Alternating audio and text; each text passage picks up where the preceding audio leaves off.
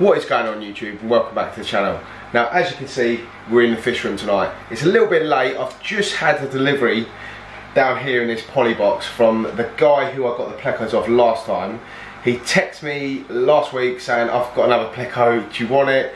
Um, he gave me a price I couldn't refuse so basically he's just shot the fish off and it's in this box now. So it's going to be a video all about unboxing this fish and what pleco it is etc etc. But I may as well show you the arowana that we put in this massive 10,000, uh, 10,000? What am I about? A thousand litre tank behind us because he's doing absolutely fantastic now and I show the tail. He's eating like crazy which is good. I've done some big water changes and stuff like that. So let me just show the arowana.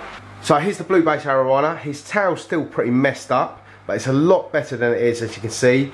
Now the video I've done on this was probably the last video before this so you can see the tail, it's growing back nice now. So there's no arowanas in here sort of picking on him. And his gill flap has grown back really well. So I'm really happy with that because I was so scared about putting this fish in here. I thought I was going to lose him. But I've been doing some crazy water changes, keeping up the tank maintenance. And he's doing absolutely fantastic. And um, hopefully he chills out in this tank now. And um, yeah, hopefully he has a good life. But I will be getting him a bigger tank soon. But anyway, let's get on with the uh, unboxing of this Pleco. Now, if you hear some funny noises in the fish room tonight, it's my little Yorkshire Terrier Bruno here. He's making loads of noises. He probably wants to go outside and bark at the hedgehogs like he does most nights. But I'm going to leave him in here and chill tonight.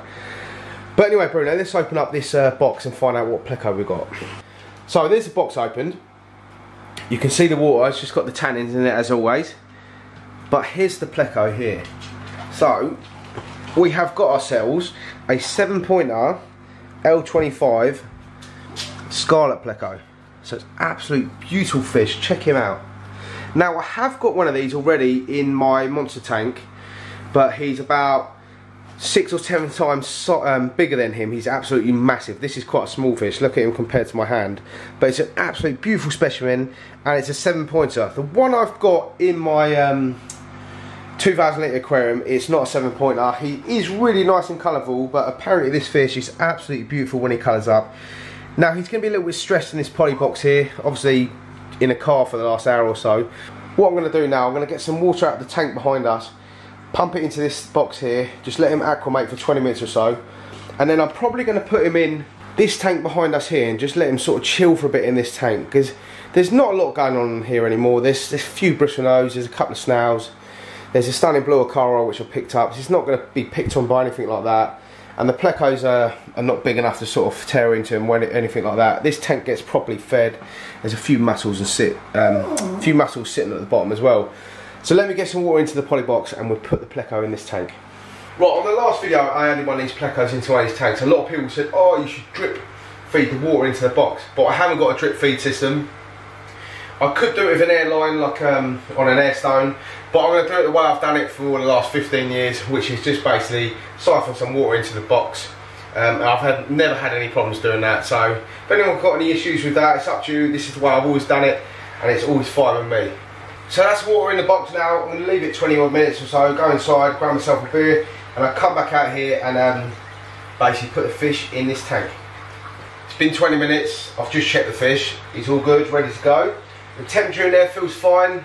I sort of put my hand in there and I put my hand in there, you, you know, they feel roughly the same.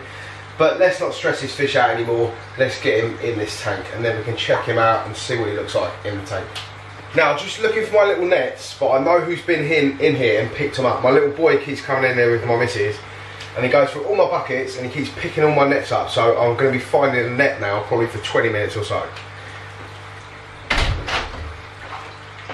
Right, literally five minutes later, just found a net. He keeps taking them into his um, little play area in there where he's got his kitchen and stuff, and he, yeah, basically just nicks all my stuff. But anyway, I've got a net now. Let's get the fish in. Okay, Pleco's in. Tank's all topped up again. Everyone seems fine in here, so let me show you the fish because he's actually at the front of the glass now. So, there he is. Let me show you side view of him, it's a bit better. So there's a distinctive sort of like flame tail they have, these L25s. So like I said before, I have a big L25 which probably goes from here to sort of here somewhere, maybe even bigger, which is in my 2000 litre tank. It's really deceiving to see how big your fish is when you've got a tank that big because obviously the fish don't actually look that big in the tank until you put them in sort of a tank like this and you realise how big they are. But check this guy out, man. He's so cool. So he's definitely a seven pointer. I can see on his fins he has got the orange distinctive markings, but um, he's obviously very stressed at the moment. He's just been in the car for the last hour and now he's just been thrown into a new tank. So what we'll probably do, I'm going to put the camera down now. We'll come back tomorrow night after work when I get in from work video him and see what he's saying tomorrow night because um, he's quite stressed. I'm going to turn the lights off now, just sort of let the tank chill out, let him chill out, and like I said, we'll come back and see what he's like tomorrow.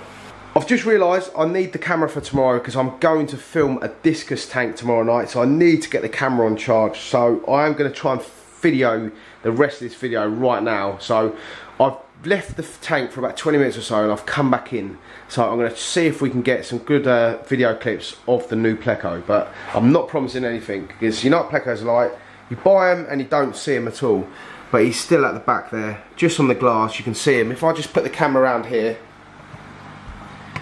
there you go it's a little bit better view for you but you can see the fish just at the bottom there we'll obviously do some more videos on this fish but obviously today it's just like an unboxing fish showing you what I got that sort of thing. So, but I will do like another fish room tour because I have been getting new fish.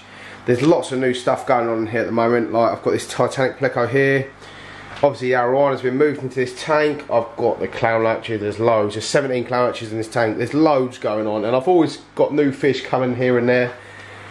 And um, yeah, there's so many tanks and stuff going on all the time. So, but I will um, do an update on all my tanks and I'm still waiting on the other tank from ND which is coming here I have had a thought about tanks as well I do want to get myself another six foot tank like this maybe this sort of depth in the um, sorry this sort of length in the depth of the tank if that makes sense so I want it deeper this way not higher for one of my Asian arowanas and a couple of stingrays because I just love these fish. Look at this, look at this on its own. It just looks absolutely mad in this tank on its own, swimming about. Obviously not on its own because there's Oscars in here, but what I mean is, is just one arowana in the tank. I think it looks absolutely fantastic. And arowanas do fight. And now I'm a bit worried about my other, other arowanas because obviously I've still got four Asians in the other tank and a big silver. So I am a little bit worried about that. But what's your thoughts on that? I'm thinking about getting another six foot tank built in this room. I know this ain't the biggest room in the world. I could get another one put here, move that freezer somewhere, maybe put the freezer against the wall there, put the six foot tank there, then maybe another four foot tank there. But um, we'll see, we'll see what happens. I might speak to Dom at ND Aquatics and see what he can do for me. But anyway, I'll stop going on guys. That's the video done for today. Sorry I can't get you the best video of this fish, but like I said, I will film this fish again one day. And we're doing a sick video tomorrow, like I said. We're going to Sandy Discus's house. I'm going to video his discus tank. I think his tank is around 450, 500 litres and he's got some beautiful specimens in there and he's got some plecos. There's all sorts of bits going on there. You should follow him on Instagram, go and check him out. Um, it's called Sandy Discus on Instagram. I don't think he's got a YouTube channel, I'm pretty sure he hasn't. But I'm, honestly, it's going to be a really cool video tomorrow. I'm going to finish work, have a shower, um, get straight in the van and go around there and video his tank. But anyway guys, I'll stop going on now. That's the video done for today. Thanks for watching the video as always everyone. Like and subscribe to the channel, ding notification bell and keep it real everyone.